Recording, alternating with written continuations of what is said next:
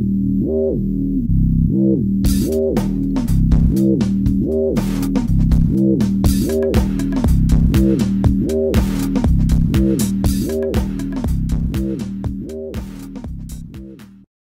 guys, this is George and on this video I'm going to be showing you a tutorial on the application called um, Streamer.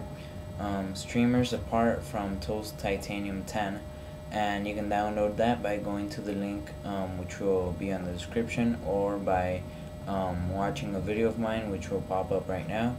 So um, you'll download Toast Titanium 10 and with that it will be included Streamer which is this app right here. So I think once you open it, um, it's gonna ask you, it's gonna go right here and ask you for your streamer um, server address. So I just put George Alegre, which is my name, um, and then I just put medium quality. I put automatically, and um, that's about it. So I added a movie right here, and it gets um, copied automatically to um, streamer videos, which is right here. So um, you can watch a preview of the movie right there. It's Apple's um, intro movie from Leopard. So it doesn't have any sound, but I believe it does work with sound. So I'm gonna hit start streaming, and you're gonna see right here a green dot, and it's gonna say the um, the web page you can go to your iPhone. So here I have my iPhone on Google. So I'm gonna enter in the website.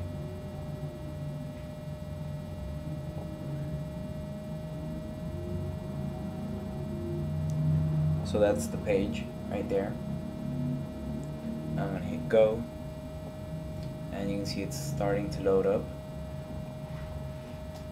there you go. There you see Roxio streamer and it's asking you for a password. So now I'm gonna enter in my password. Um, okay, so I enter my password now I'm gonna hit login. And now it redirects to this website right here.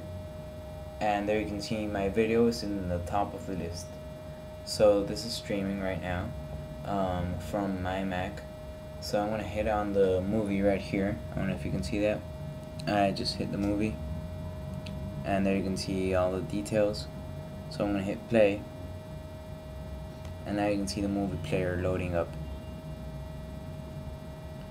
So um, there you can see the movie playing on the iPhone.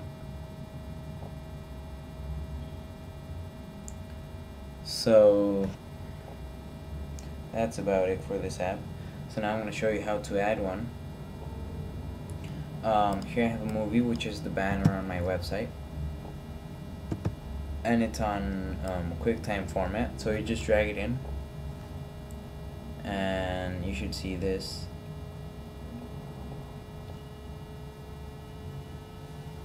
So once it's finished it's gonna load up right here